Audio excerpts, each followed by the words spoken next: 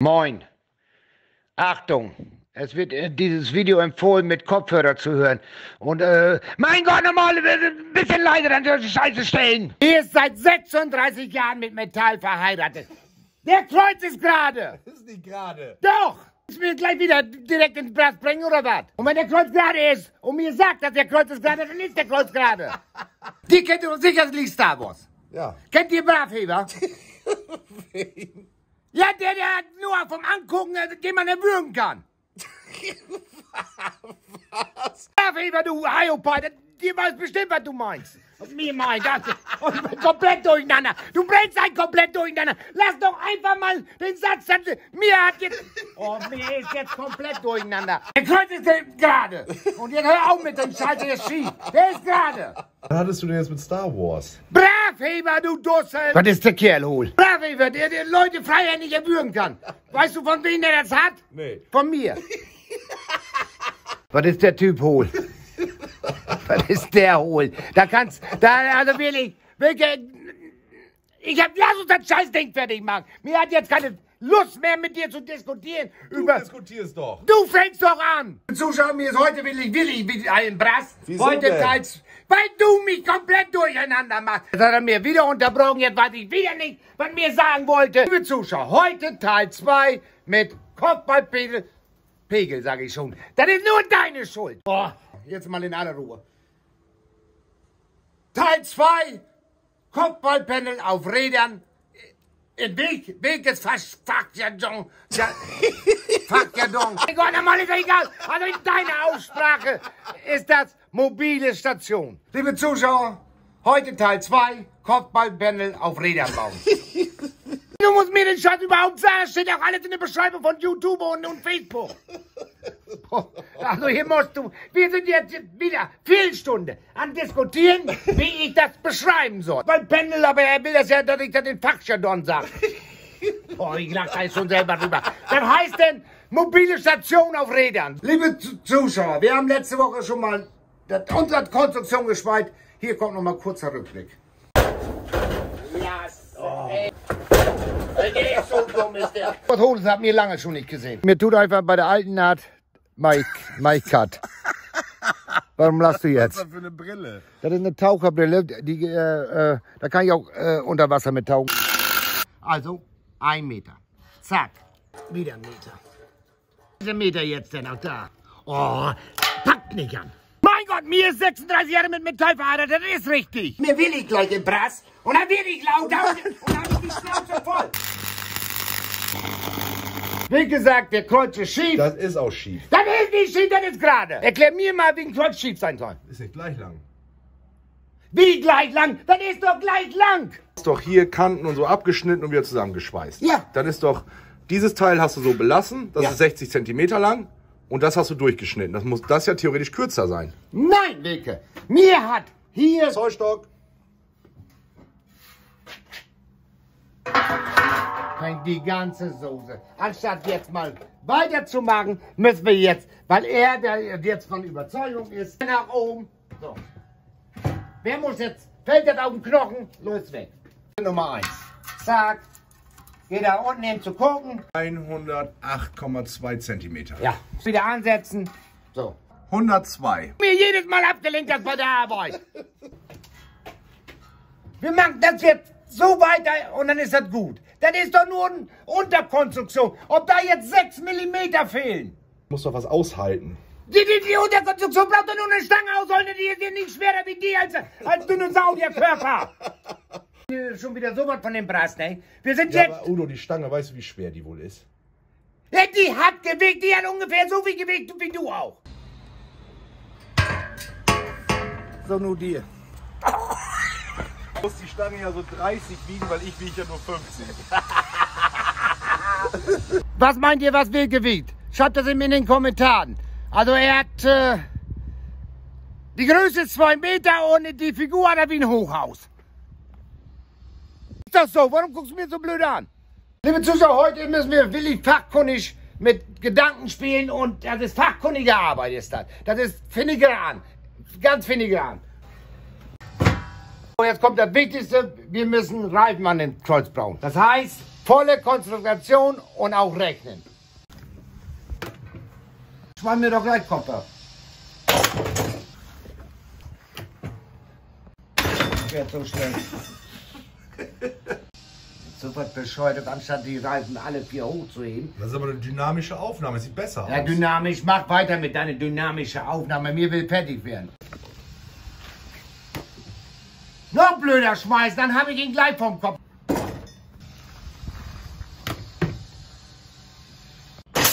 Und Das sind die Reifen, die kommen von der Sackkarre und die bauen mir jetzt hier so irgendwie ran. Mir hat das schon genau überlegt, wie das funktioniert.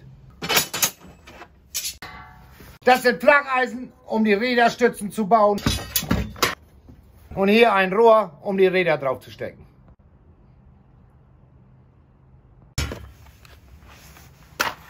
Hier die Buchsen, die kommen rechts und links an den Rädern, dass die erstmal nicht runterrollen. Und das können wir da festschweißen. Die Konstruktion ist wohl überlegt. Hat keiner mit Amateure zu tun, ne? Da musst du selber lang. Wir sind reinste Amateure. Mir hat noch nie Räder gebaut. Mir weiß jetzt noch. Mir hat Ja, aber du hast es dir doch überlegt. ja, mir hat schon eine Vorstellung. Aber Umsetzung ist bei mir ganz schwierig. Oh ja. Oh ja. Oh, du liest ja alle Kommentare. Mir hat jetzt erstmal ein Hühnchen mit euch zu rupfen. Andreas Krüger. Akku raus beim Scheibenwechseln. Ja, das ist wieder so ein Schlaumeier. Das braucht man nicht. Das ist nur, wenn du an den Knopf oben kommst. Dann kann der anschaltet werden. Aber ich, ich komme doch nicht an den Knopf. So blöd bin ich nicht. Mit, nach 36 Jahren mit Metall verheiratet und mir einer erzählen, wie ein Flex funktioniert. Schlüpfer noch nicht selber anziehen und mir einer erzählen, wie, wie man Scheibe wechseln muss. Christian Heinen. Ich habe sehr wohl was gelernt. Mit der Schnur kann man schönes, gerades Ergebnis rauszukriegen, um die Flächen auszumechen. Ja, das ist doch wahr. Man kann auch mit einer Schnur eine gerade Fläche ausmessen. Äh, messen. Boah. So lachen alle drüber. Was spricht dagegen? Moritz Clay. Udo definiert die unendliche Geschichte neu. Aus jedem Video wird ein Mehrteiler. Ja, weil hier auch ja nie was richtig funktioniert, wenn mir was anpackt hier. Udo Kuhlmann. Ich habe von Udo gelernt, zu welchem Friseur man nicht geht. Mann, der Zinken ist ja immer noch voller Haare. Außerdem passt da eine Wurst rein. Hat dir schon mal jemand einen Tunnel ins Gesicht gehauen? Keine Kommentare mehr, mir muss jetzt los. Kannst du einmal was Nützliches tun? Ja, du musst immer die Kamera festhalten. Mann, oh Mann, oh Mann, oh Mann. So, Spekuliereisen aufsetzen, sonst kann ich nichts. So, gucken, ob alles passt. So, Stange passt durch den Reifen und hat wieder richtig gemacht. Geht nicht. Udo kann nicht zeigen, weil die Schraube noch nicht zurückgedreht ist. Welche Schraube? Die ich dir gleich um den Hals wickel. Natürlich der hier, Penökel hier. Der muss zurückgedreht werden. So. So, der muss ein bisschen zurück, dass innen glatte Fläche ist. Nun passt auf, mir zeigt jetzt ein cleveres System mit Udo. Der Schraube kommt jetzt vorne drauf. Und dann wird das festgedreht und dann kann das Rad nicht runterfallen. Da merkt man, dass mir 36 Jahre mit Metallfahrrad ist. Hier oben. Wir haben extra Buchsen genommen, um da die Querverbindung ranzuschweißen. Meinst du, mir ist blöd? Das Flacheisen wird hier an der Buchse festgeschweißt. Das ist das System mit Udo. Man muss dir sagen, das ist schon clever, ne? Natürlich ist das clever. Mir ist ja nun nicht billig jetzt seit 36 Jahren. Mir hat auch ja schon Konstruktion da gemacht. Wo, wo mir wo, billig, wo ich selber gedacht habe, das fällt zusammen und hat funktioniert. So, jetzt heißt das erstmal messen. Wir nehmen jetzt die Tiefe vom Reifenseite. Dann nehmen wir dann 13. 13 cm ist die Höhe vom Flacheisen. 13 cm anzeichnen. Brauchen wir vier Stück von. Acht. Ne, vier! Acht. Wieso acht? Wir haben vier Reifen. So, und jetzt ein Moment eben. Dann hast du die verkehrten Reifen mitgebracht. Wieso sind doch vier? Wilke, wie willst du den denn nachher drehen und fahren? Wie willst du das denn mit zwei Reifen machen? Ja, aber das geht doch, dann musst du doch mit, mit äh, Gelenk drin haben, Reifen. Nein. Geht nicht auf den vier auf Ecken. Du hast doch gesagt, wir bauen X. Ja, Und du wusstest auch, dass wir vier Reifen haben. ja, aber das geht doch nicht mit vier steife Reifen. Natürlich. So. Provisorisch zeige ich dir das jetzt. Doch an jeder Kante einen Reifen dran schweißen. Ja, das kann ich, aber die drehen sich denn Ja, nicht. müssen die doch nicht. Da muss er nur geradeaus und rückwärts schieben können. Die schiebst du doch nicht, wenn zwei Reifen so stehen und die anderen beiden Reifen stehen so. Wer soll das schieben? Nein. Schweißt das ja so hier drunter, das Blech, dass der Reifen dahin guckt. Die gucken alle nach vorne. Professor, hat wieder Reifenlogie studiert, oder was? Du wolltest. Wenn ich nichts gesagt hätte, hättest du die wirklich so dran geschweißt. Ja, ich dachte jetzt ganze Zeit, du willst so, so, so. Das hat nicht funktioniert. Aber danke, jetzt, Herr Professor. jetzt hast du vor, hier zwei hinzusetzen und du hast jetzt vor, hier zwei hinzusetzen. Blut ist dir gar nicht. Du hast wirklich Reifenlogie, äh, Philo- äh, ne, wie heißt das jetzt auch Reifenlogie äh, studiert, oder wie? Oh. Mach das nächste Mal ein bisschen anders. So, jetzt machen wir das eben auf Zeichen. Zuschauer das versteht. Das Kreuz. So. Jetzt hat Wilke vor. Jetzt die Reifen, weil das ja jetzt von unten ist, das siehst du nicht immer. Ich, bei uns in der Zeitung heißt das immer unsichtbar. Dann wird das gestrichelt. So. Erlauben zwei Reifen. Und. Oh nee, nee, verkehrt. Weißt du, wie du es auch hättest machen können? Malst du da ein Pflaster oder was? Nee, das sind die Reifen, die unsichtbar sind, weil die ja von unten rankommen. Oh, bist du doof, mir ablenken. Wir machen das nochmal neu. Das sieht aus wie ein Pflaster, Udo. Jetzt clever die Wasserwaage da so drauf zu kloppen. Ja, die Bläschen gehen wieder zusammen. So, Kreuz mal. Bleib stehen. Einmal. Zweimal. Du kannst die Reifen doch jetzt einfach so malen. Guck mal. Weil die sind dann ja unten. Siehst du das? Ja, Herr Professor. Hier legst du noch eine Querstäbe. Ja, schön. Und da Interessiert mich auch ist gewaltig. dann nochmal der ja, Reifen. mir ist jetzt so glücklich, dass du das gemalt hast. Ja, gut. Was los? Nix, nix. Mir macht das jetzt so ein. Weißt du eigentlich, dass wir schon wieder eine Stunde hier am Gange sind und wir haben noch nicht ein Reifenfest? Der Zuschauer hat mir äh, das erklärt, das, das Scheißsystem.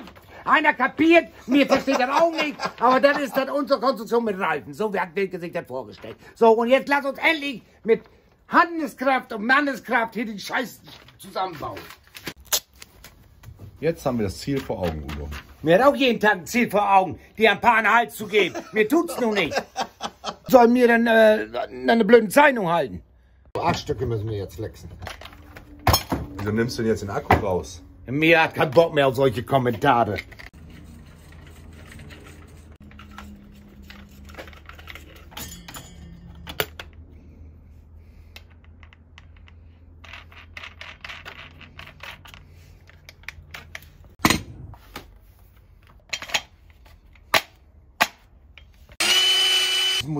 Musik im Spiel im Eisen.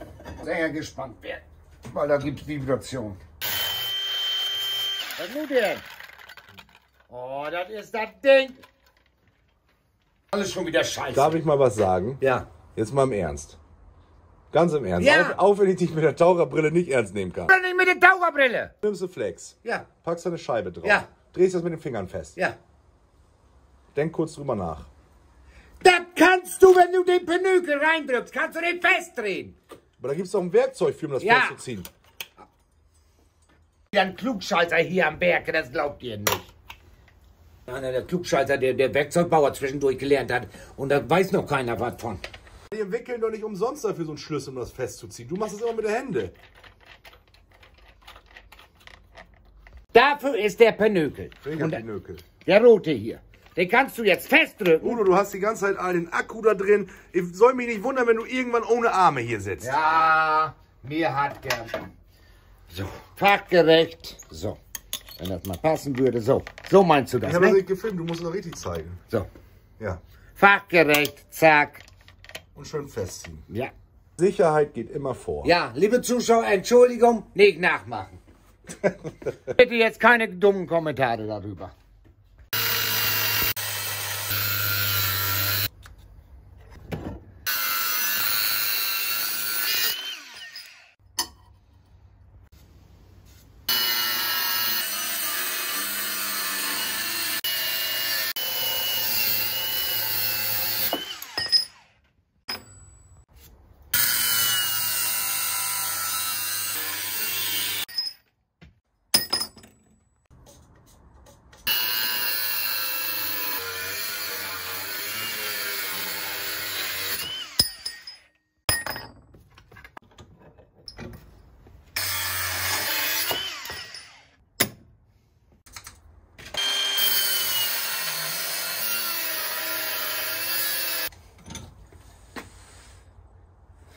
Hat du wieder nicht gefilmt, ne?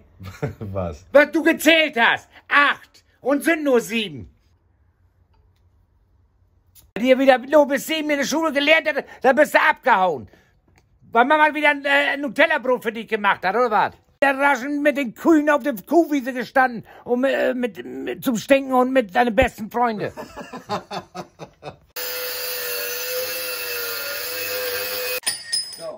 Liebe Zuschauer, wir haben jetzt acht Flacheisen für die Unterkonstruktion für die Räder gemacht. Kommen wir wieder zum mathematischen Teil. Das heißt, wir müssen die, die Stangen jetzt schneiden in einer Breite, wo die Reifen drauf passen. Die werden dann festgesetzt und da müssen wir jetzt vier Stücke von schneiden. Das heißt jetzt vier Stücke schneiden.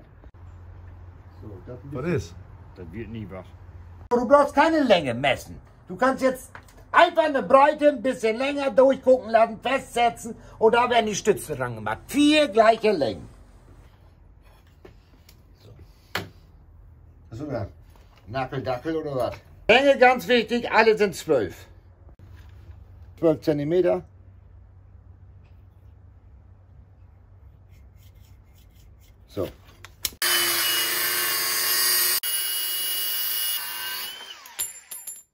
Ist jetzt die Länge für den Reifen. Da kommt links und rechts die Hülse drauf und dann die Verstrebung.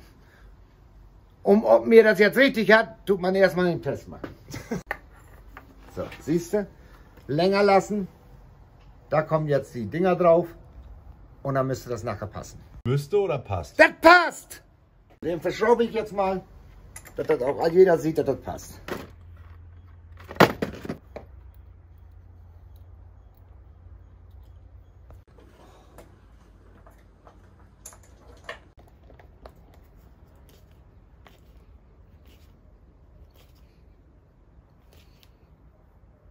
Wo ist der andere Pinökel denn? Hast du doch weggelegt. Ja, der, der sitzt hier noch auf der Stange.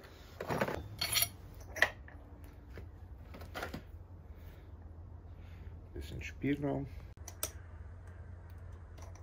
Oh, wirklich, ich sehe das so nicht, wenn du im Weg sitzt. Immer deinen Büffel Hüftenkörper im Weg stellen muss.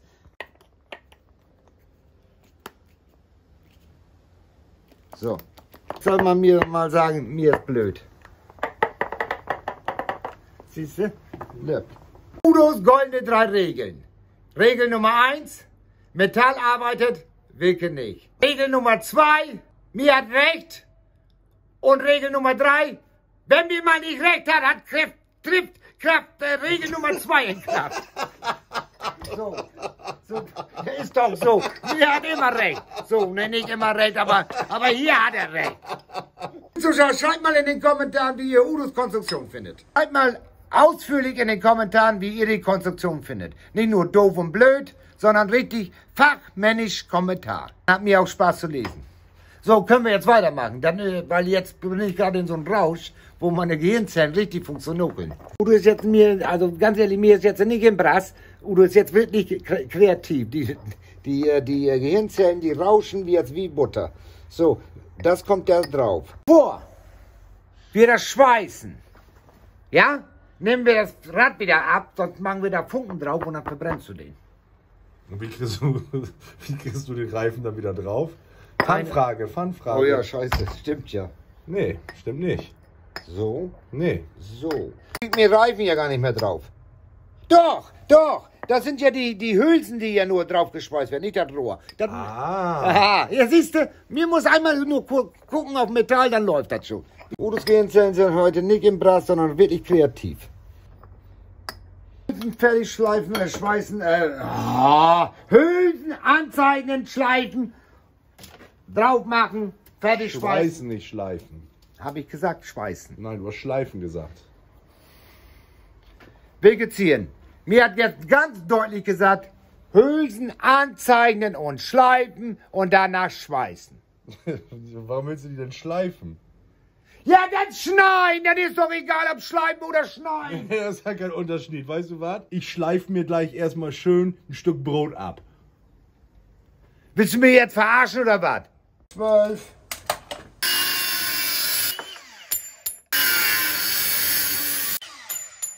Schleifen, Hülsen, Flageisen fertig. bitte jetzt die Augen zumachen, ohne Sand jetzt heute Abend. Ja, letztes Mal hast du mir wieder äh, vorgeheult, du hast nachts Sand in den Augen gehabt. Heißt auch für die Zuschauer, die es nicht wissen, Verblitzen. ich hatte die Augen verblitzt. Ja. Da halten. Du bist schief. So. Ich halte den jetzt für dich gerade. So festhalten.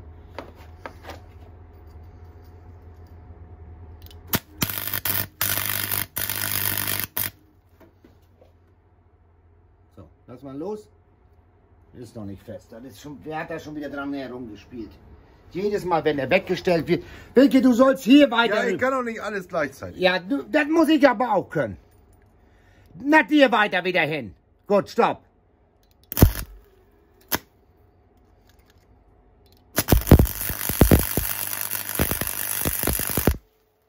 Frikadellen, Udo. Ja. Was Udo brennt, das hält. Was Udo schweißt, das fällt.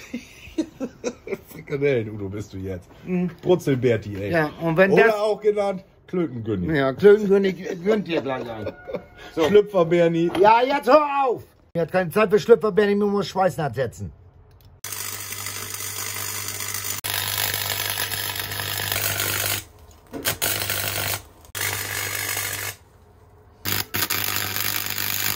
Zuschauer, dass er auch wichtig, dass er ein ordnungsgemäßes Schweißnaht rankommt, dass er auch hält. Der hält. Muss aber gleich hier noch eine Natron zusetzen, aber das mache ich gleich. Brutzelberti. Ja, Brutzelberti brutzelt dir gleich ein. Bitte jetzt gerade so festhalten. Tisch, du bist wieder auf einer Seite. Ja, ich hab doch noch gar nicht. Nee, du sagst jedes Mal, ich hab da noch nicht. Mittig! Ja, mach ich doch.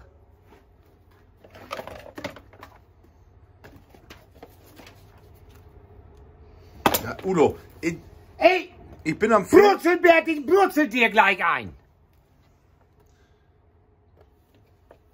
So, Brutzel. Der ist auch nicht ganz gerade drauf. Nee, jetzt ist er schief, nach Nein, rechts. so, ich muss so.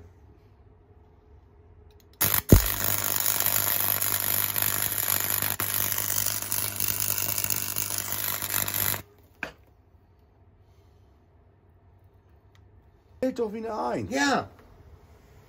Das sechste Mal, dass er dich dir rübergeschlagen hat.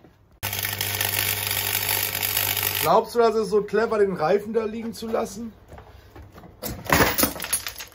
Statt den selber jetzt im wegzunehmen, filmst du das und wartest so lange, bis ich dann fertig geschweißt Nee, das habe. ist mir gerade erst aufgefallen. Ja, hättest ihn ja, als dir das aufgefallen ist, hättest du den ja schon Da wegnehmen warst können. du am Schweißen, Ja, und warum nimmst du den nicht weg? weil du am Schweißen warst. Ja, was hast du da, was ist denn jetzt das Problem, wenn du den jetzt weggenommen hast? Er hat mich verbrannt. Ist das auch nicht, dass der Feuerlöscher hier steht? Ja, Du hast den da doch hingestellt. Aufräumen mit System mit Udo. Ja, aber mir hat den ja nicht hingestellt. Ach, ich hier mit dem Scheiß krieg ich eine Krise. Wo ist das Ding denn jetzt geblieben? Denn jetzt blöd. Da liegt der.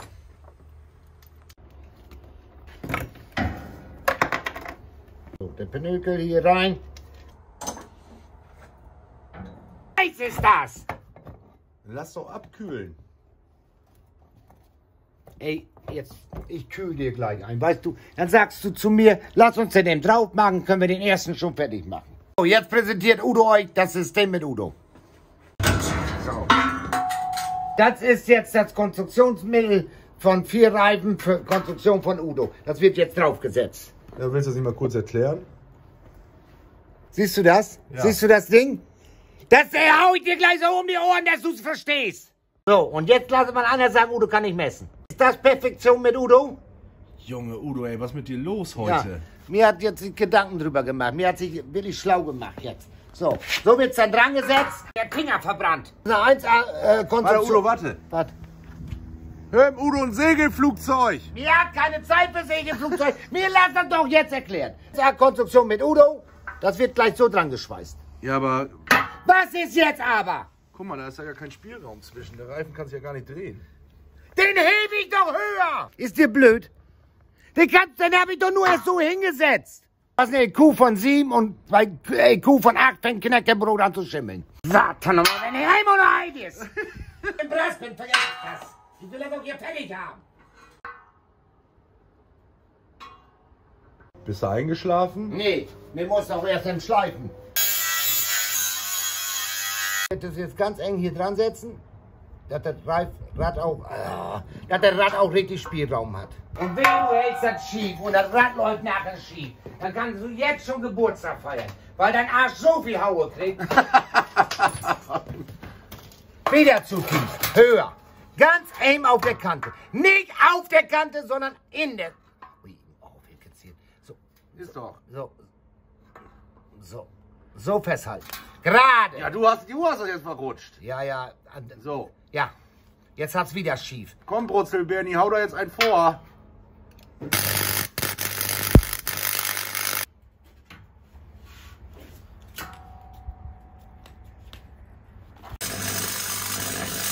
Da nur geheftet. So, das hält. So. Reifen dreht. Jetzt alle in den Kommentaren Lob für Udo. Halt einen kurzen Moment inne, Udo. Ich glaube wirklich, das erste Projekt und das erste Ding, was wir bauen, was wirklich funktioniert. Mir glaubt auch.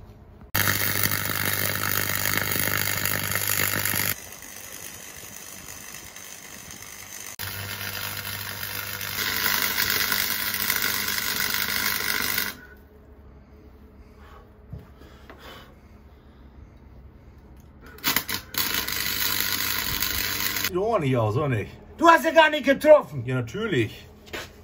Weg. Du hast ja gar nicht getroffen. Natürlich. Ach, hör auf zu labern. doppelte Schicht gesetzt. Ja. Gerade, ne? Das ist Beweis, dass du mit 26 Jahren mit McDonalds verheiratet bist. So, liebe Zuschauer, jetzt machen wir das richtig spannend. Richtig spannend. Das Finale kommt am Sonntag. Ob alles hinhaut. Damit meine ich jetzt willig spannend, weil wir beide selber gespannt sind, ob funktioniert. Jetzt schreibt mal alle in den Kommentaren, ob was ihr denkt, ob das Projekt funktioniert. Alle mal auf Gefällt mir drücken und aufteilen. Sonntag 18 Uhr das Finale. Das ist ja spannender hier als Deutschland sucht den Superstar. Ich bin aber auch gespannt. Also ich, ich glaube, es funktioniert wirklich. Weil sonst sind unsere Projekte immer scheiße und funktionieren nicht. Aber hier muss man sich Mehr. eingestehen, klappt ja nie was. Nee.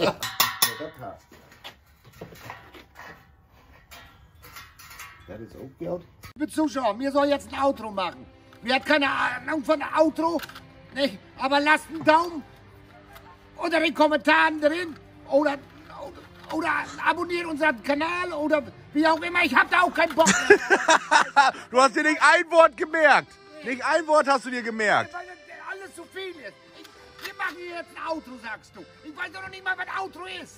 Abonniert jetzt den Kanal, mir hat auch keinen Bock mehr hier. So, tschüss. Nee, du lachst. Ich, was ist Outro? Das kommt am Ende. Ja, Outro, da kannst du mal sagen, das ist, ein- das ist Schlusswort. Du bist sowas von, von kompliziert, bist du. Outro, Outro. Oh, ich mach jetzt ein Outro. Da liegt ein Haufen. Der muss jetzt in die Schubkarre. Blödsinn, Outro.